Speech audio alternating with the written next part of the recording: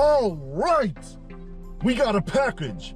I am pumped. Shumees. Now it has the package taped with fragile, fragile. It came with some dings on the box corner. Wasn't handled very well during shipping. So I'm a little worried. I'm getting ready to go work out. I have my pre-workout here. Ah. Oh shoot, I don't have uh, opening utensils. I need it pristine.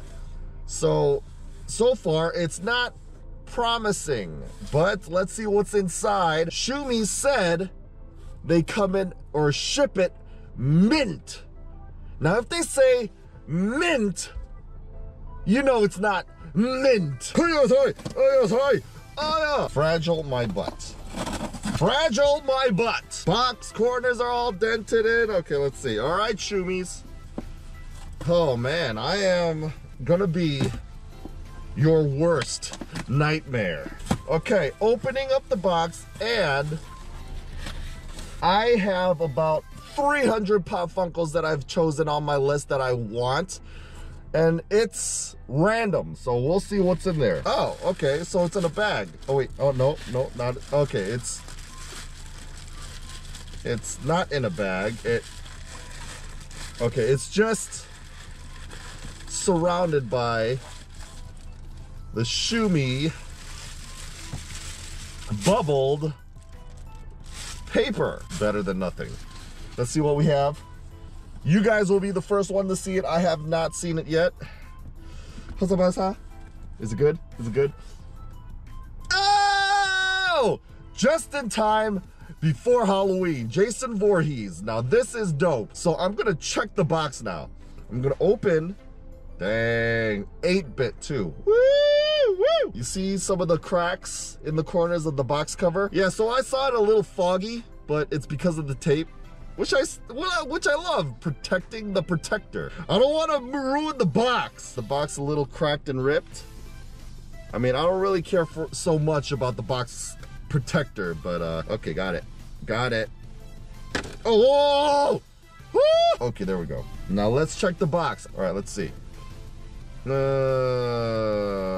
uh, let's just say that I would not, I would not purchase this. Overall, good.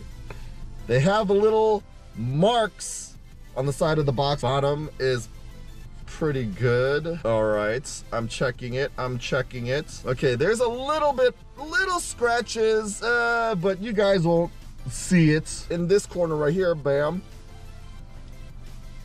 It has not been cut that proficiently. The corner of the box right here is torn like someone was trying to tear open a little bit, which I don't like. The box is torn just a bit. It is just very visible. A little bit of a bend right here, if you can see it. You guys can see that bend right here. There is like a bit of a residue right here uh right in the corner right here but and it's not coming off so hopefully that's not a part of the paint job now because of the scuff Ugh overall, I don't know. Shumi's logo on the box protector, dope.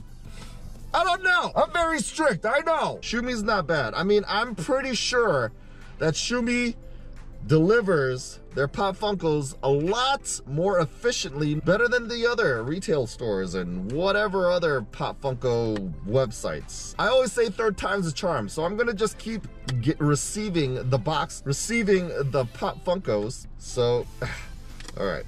All right. Come on. Come on. There we go. Bam. Get in there! Ah! So Shumi's not that bad. I mean, you got some scratch marks here and there, and you've got that little tear in there. But overall, if I see this in stores, I would say, oh, this is the cleanest box there. This is not mint. I don't want scuff marks. I don't want any sort of tears.